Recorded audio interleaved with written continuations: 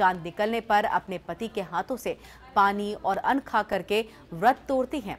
इस दिन महिलाएँ एक बार फिर से दुल्हन की तरह सजती हैं और इस पर्व को मनाने के लिए बाजारों में रौनक ही रौनक है।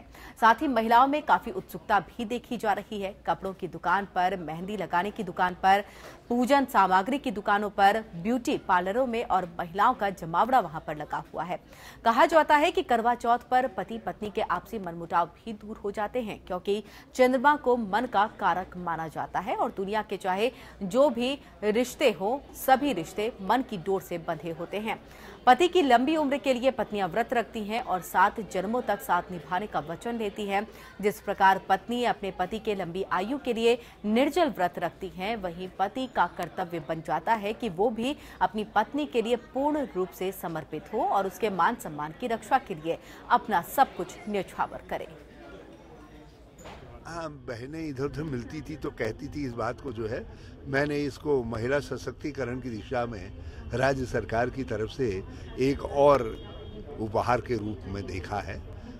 और मैं बहनों को बहनों को सबको करवा चौथ के उपलक्ष्य में बहुत बधाई देता हूँ।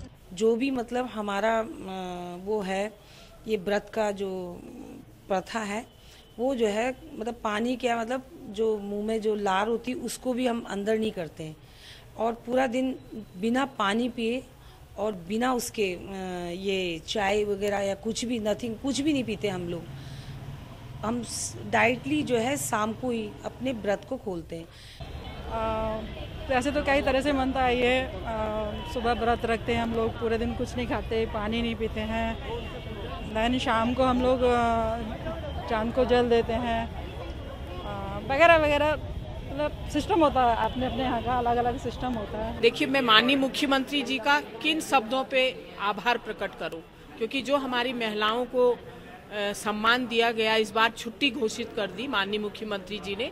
हम ये चाहते हैं कि उनकी उम्र दिन दोगुनी, रात चौगनी हो। 2017 माननीय मुख्यमंत्री जी उन्हीं के नेतृत्व पे हम लड़े।